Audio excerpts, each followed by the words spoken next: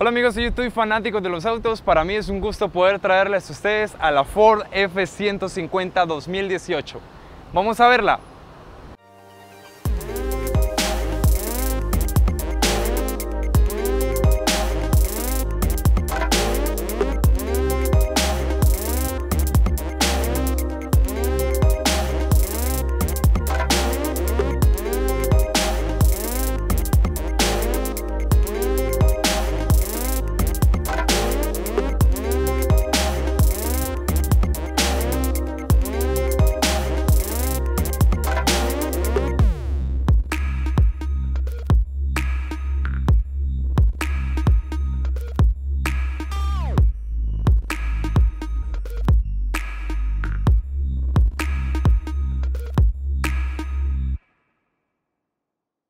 En 40 años la serie F es la más vendida en Estados Unidos y 35 años en el resto del mundo.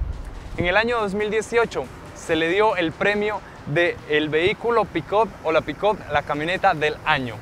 En su parte frontal estamos viendo cambios relativamente sutiles, los cuales empezando principalmente por la parrilla o persiana. Miren cómo se ha extendido, dándole un tipo de aire así como la nueva Expedition 2018, la cual actualmente no ha llegado a Colombia. El logo cambia un poco frente a la generación versión 2016-2017.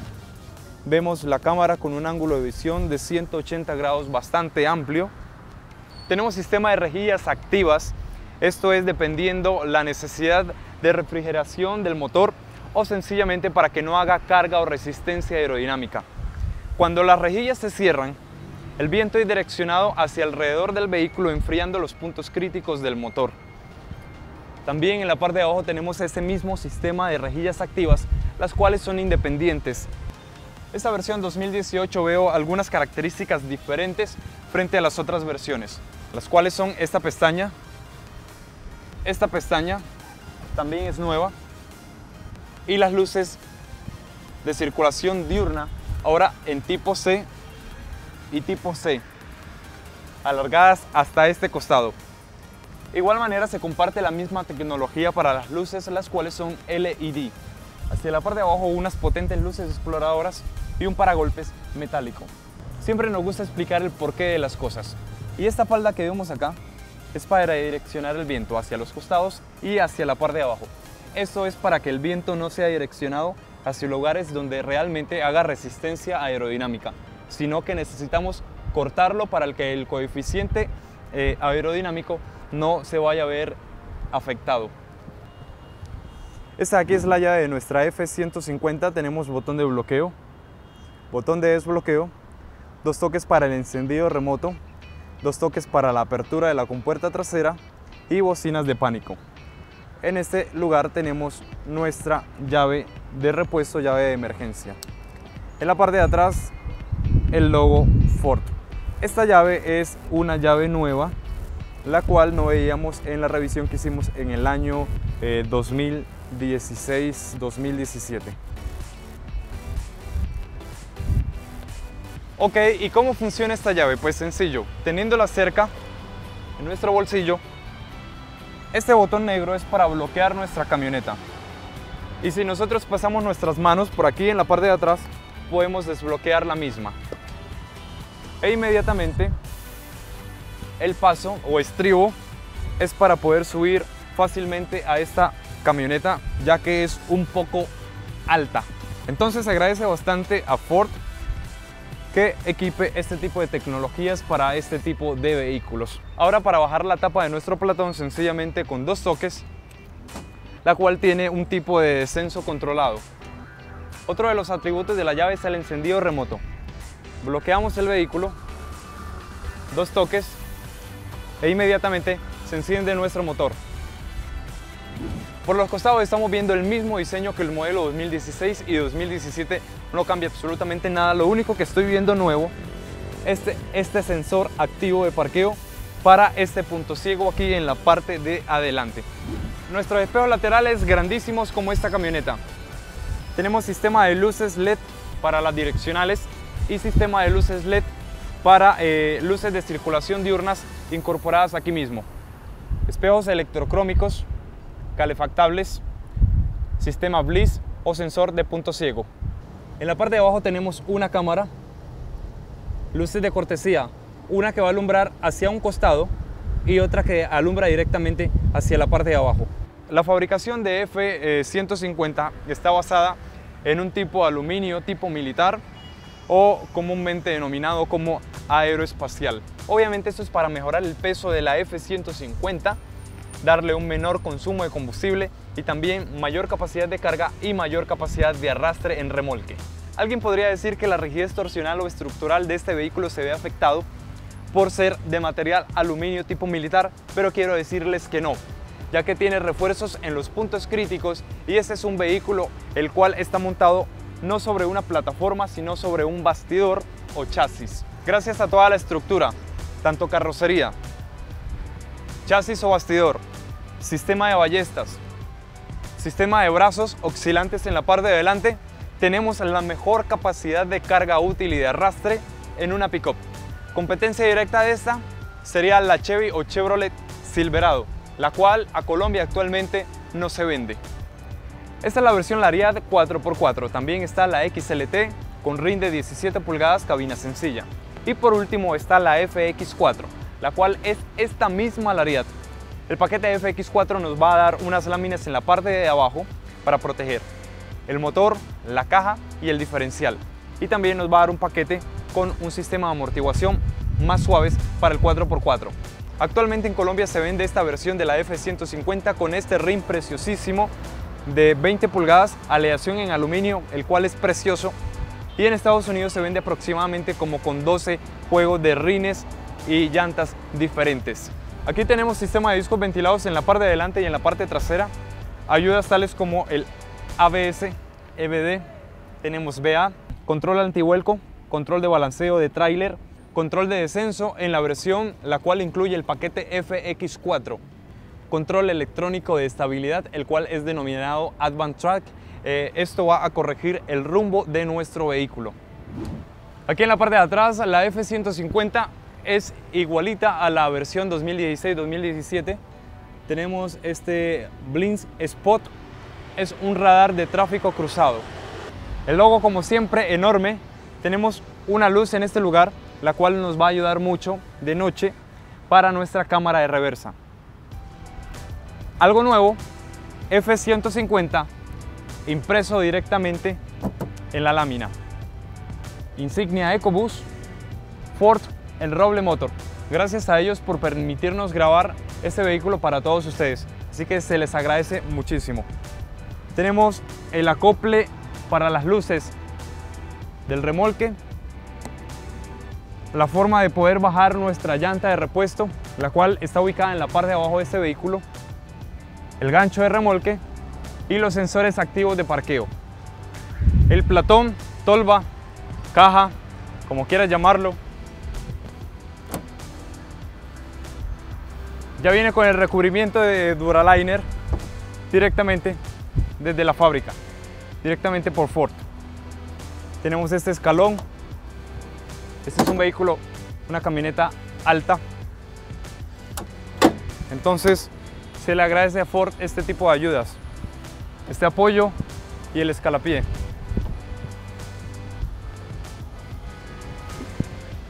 Aquí tenemos tecnologías LED, tercer stop, seguridad y luces de reversa. Tenemos además aquí en este platón 8 ganchos y un extensor de carga. La capacidad del platón en carga es de 1.635 kilogramos. Es la mejor, la mejor capacidad de carga en su clase actualmente. Y 6.600 kilogramos capacidad de arrastre en remolque. Para extender la carga, tiramos de aquí y tiramos de aquí.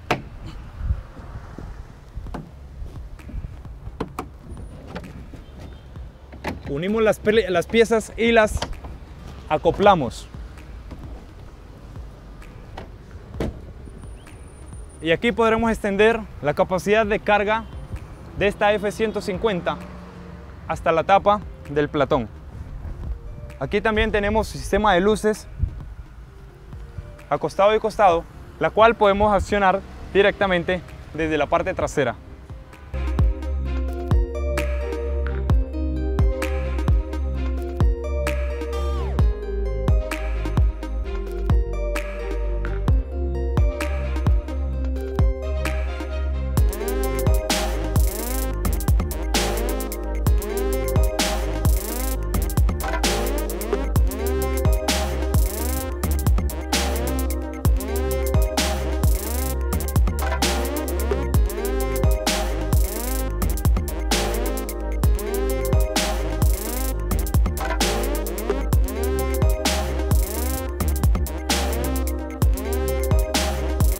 Los cinco motores disponibles que hay en Estados Unidos.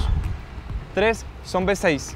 Aquí en Colombia tenemos el 3.5 biturbo, obviamente V6 EcoBoost. Tenemos 375 caballos de fuerza, 470 libras-pie de torque a las 2500 revoluciones. Un consumo de combustible de 27 kilómetros por galón. Bueno, en la parte exterior estábamos viendo cambios sutiles. Aquí en la parte de adentro no cambia absolutamente nada, solamente un componente es el cruise control, es que en esta versión ahora es adaptativo, inteligente, según sea la velocidad del vehículo que va delante de nosotros. La pantalla multimedia de 8 pulgadas For My Touch, eh, SIN 3, sistema de sincronización, pero no incluye todo lo de serie que manejan eh, los vehículos que no son de trabajo diario. Aquí tenemos el sistema de navegación GPS, teléfonos celulares, podemos sincronizarlo vía Bluetooth, streaming. Temperatura, podemos manejar nuestro aire acondicionado a través de la misma y el sistema de audio. En ajustes tenemos sonido, reloj, Bluetooth, teléfono, radio, navegación, aplicaciones móviles y configuraciones generales. La pantalla preciosa para hacer de un vehículo, una pickup de trabajo. Hacia la parte de abajo, nuestro sistema multimedia tendremos seis eh, estaciones de radio preconfiguradas o seis memorias para guardar nuestras estaciones de radio. El sistema de aire acondicionado es automático de doble zona y hacia la parte de abajo tenemos sistema de calefacción o aire acondicionado de tres niveles para las sillas aquí en la parte de adelante, las cuales incluyen cojinería en cuero con micro perforados para que el aire acondicionado pueda circular. El salpicadero completo, cueros, costuras. Tenemos sistema de sonido B y O. Excepcional el sonido. Lástima que no podemos colocar música por el tema de derechos de autor. Ah, ok, aquí estoy viendo una ranura para nuestros discos compactos. Tenemos un toma de 12 voltios y un puerto de los que normalmente vemos en nuestros hogares. 12 voltios y 110 voltios a 400 eh, vatios. Aquí tenemos un lugar donde podemos almacenar, no sé, nuestros teléfonos celulares. Perfectamente, hasta queda sobrando espacio en esa parte interna. Y tenemos dos puertos USB. Hay un plástico especial que estoy viendo, el cual está simulando eh, la madera. Esto no creo realmente que sea madera, pero le da un aspecto visual muy atractivo. En, esta, en esta parte, este dial, tenemos nuestro selector de tracción. 4x2, 4x4 all-wheel drive integral, 4x4 alta y por último 4x4 con función de bajo. Y si tiramos de la perilla, desbloqueamos el diferencial trasero. Tenemos ayudas aquí en la parte de arriba, tales como el control de tracción, luces estacionarias y tendremos una vista desde la parte de arriba de nuestra camioneta 360 grados alrededor de la misma ya que en la parte de adelante tenemos cámaras en los laterales en nuestros espejos laterales y en la parte de atrás también tendremos cámaras. Estas cuatro cámaras se enlazan y forman una imagen 360 grados alrededor de todo el vehículo. Tendremos también la posibilidad de solamente mirar lo que está sucediendo con la cámara en la parte de adelante y también podremos dividir la misma. Como este es un motor EcoBoost con tecnología Start Stop, podemos apagarlo o encenderlo. El Start Stop lo que va a hacer es cuando estamos en un momento de lag en un semáforo, el motor se va a apagar y se va a encender inmediatamente pisamos el acelerador. No hay un tipo de lag en esta acción, sino que va a ser muy mínimo. Aceleramos e inmediatamente sale disparado nuestra F150. Caja de 10 velocidades, tipo gatillo. Para poder conducirla de forma secuencial, desplazamos en Drive y es Select Shift. Eh, cambio más hacia la parte de adelante, cambio menos hacia atrás. Tenemos sistema involuntario de abandono de carril, corrigiendo inclusive desde el timón y vibrando la silla cuando nos estamos saliendo del carril de forma involuntaria y en cierto momento eh, el timón va a tomar la corrección y nos va a volver nuevamente al carril. Y tenemos este botón el cual sirve para el estacionamiento en paralelo. Tenemos estacionamiento paralelo, espacio de almacenamiento, espacio de almacenamiento, dos portabebidas bastante grandes. Hacia la parte de atrás de todo esto, bueno, esto está recubierto en cuero, costuras también. Podemos asegurar eh, esto con, con llave. Y por lo que veo tiene refrigeración. Y sinceramente esto es más grande que la nevera de mi casa. Tenemos un toma de 12 voltios y esta bandeja.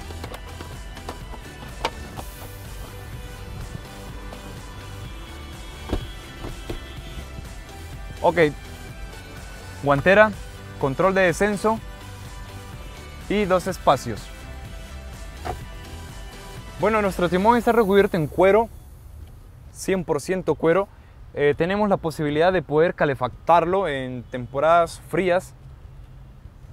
Costuras en la parte interna, muy especial. En la parte izquierda de nuestro timón tenemos la configuración de la navegación en la pantalla eh, computadora de a bordo, la cual es grandísima. Son aproximadamente unos 8 o 9 pulgadas.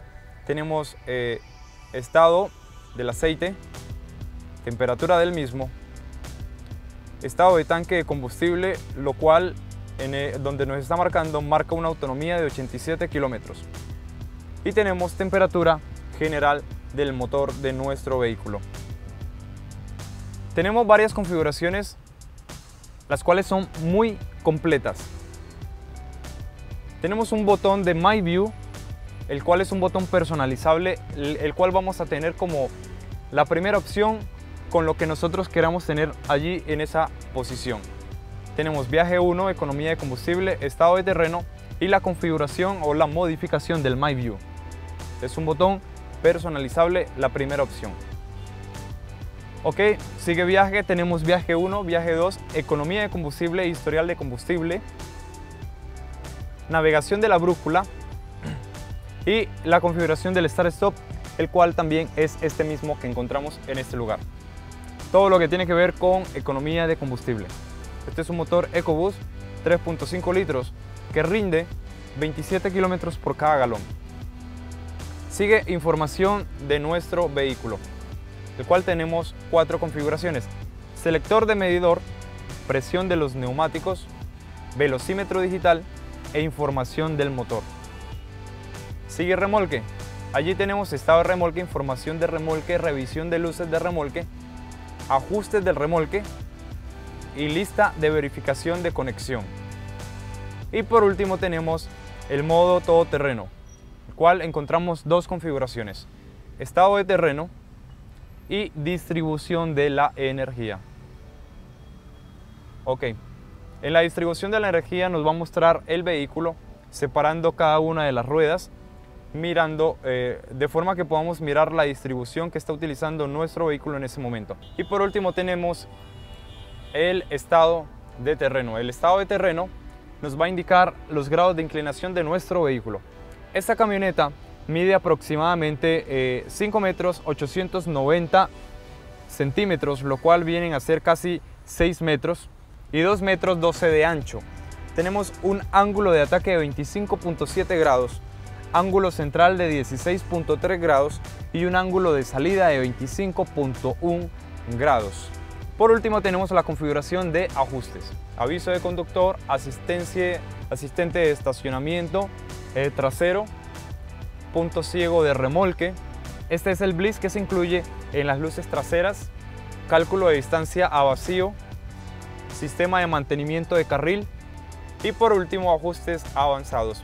Entremos allí. Está vehículo, toda la configuración del vehículo, luces, cerraduras, alarmas, estribos automáticos, reinicio eh, de vida del aceite, luces, entrada y salida fácil, apagado automático del motor, limpia parabrisas, encendido remoto. Creo que eso es todo. Tenemos MyKey, es mi llave, es la llave que se usa en las puertas. Podemos configurar una contraseña desde esta posición, desde esta configuración. Si esta llave se nos llega a olvidar por X o Y motivo, nosotros podremos abrir nuestra camioneta directamente con contraseña desde los marcos de las puertas. Entonces aquí también está esta configuración. Por último, ajustes de pantalla. En ajustes de pantalla tenemos unidad de medidas, temperatura, presión de los neumáticos e idioma. Yo creo que esto ha sido todo lo que encontramos en esta computadora de a bordo, la cual es bastante completa. Nuestro clúster de instrumento en la parte izquierda tenemos cuenta revoluciones hasta 7000. 7000 revoluciones. Y en la parte derecha nuestro velocímetro que marca millas por hora y kilómetros por hora. 120 o 200 kilómetros por hora.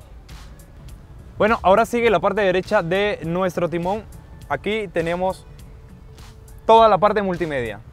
Volumen más, volumen menos, cambio de pistas, ajustes preestablecidos, mandos o comandos por voz, mute, colgar y descolgar nuestro teléfono.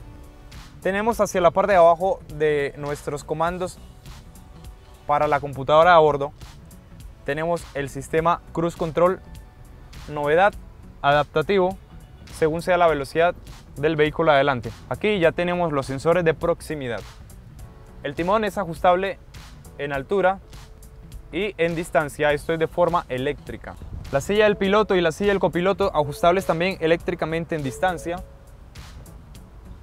en altura, disposición de la banca, ajuste lumbar o inclinación lumbar, perdón, y ajuste lumbar.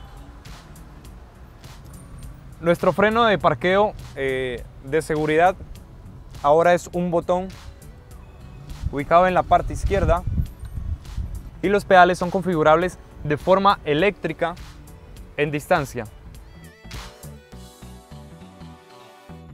En la puerta tenemos tres memorias de posición para tres conductores o tres formas de conducción diferentes en esta F-150. Configuraciones de nuestros espejos laterales la organización de los mismos, inclusive poder abatirlo desde la cabina, poder abatir los espejos laterales, tiradores de los elevavidrios, esta terminación como si fuese madera y el tirador de esta puerta. Tenemos portagafas aquí arriba, eh, luces con un toque, luces automáticas con las puertas abiertas y la manipulación del sunroof el quemacocos hacia arriba o el techo panorámico de cristal. Esto y también la cortina. La cortina también es de forma eléctrica. Este ya es un vehículo bastante grande con una disposición aquí en la banca eh, de atrás 60-40. Tenemos apoyabrazos, 100% cuero todo. Portabebidas, cabezas y podemos extender la capacidad de carga y como pueden ver como pueden ver esto aquí atrás es muy grande sinceramente quedo sorprendido con este espacio que tenemos aquí atrás. Para que ustedes se den una idea del espacio, pues como pueden ver, es bastante amplio. Tenemos estas carteras, cartera en este lugar, eh, sistema de ductos independientes de aire acondicionado, dos tomas o dos puertos USB de carga rápida y un toma de 110 voltios, 400 watts, calefacción de dos niveles para los asientos aquí atrás, un toma de 12 voltios clásico. El techo de cristal llega hasta esta parte y tendremos también luces LED para la parte de atrás. El espacio es sumamente amplio. Para que se den una idea, en la parte de adelante tenía una configuración para una persona promedio de un metro noventa. Sin embargo, aquí en la parte de atrás tengo muy buen espacio de igual manera. En la parte central, muy buen espacio. Entonces, en tema de espacio, esta camioneta es grandísima. No podemos hablar de buenos atributos de un vehículo si el sistema de seguridad es poco o es nulo.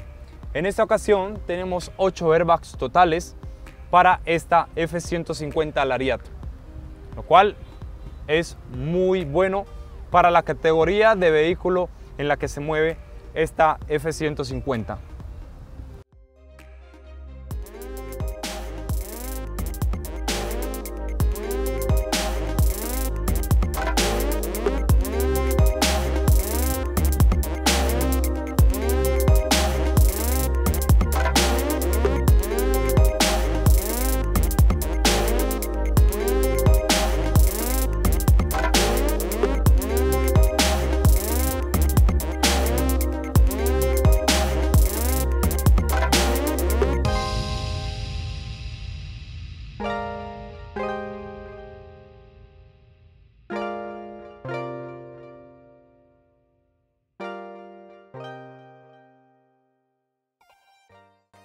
Amigos, así que tuvimos la revisión completa de la Ford F-150 4x4 versión Lariat. Nos vemos en un próximo video. Por favor, comenta y comparte para poder llegar a muchas más personas. Si te ha gustado, dale me gusta.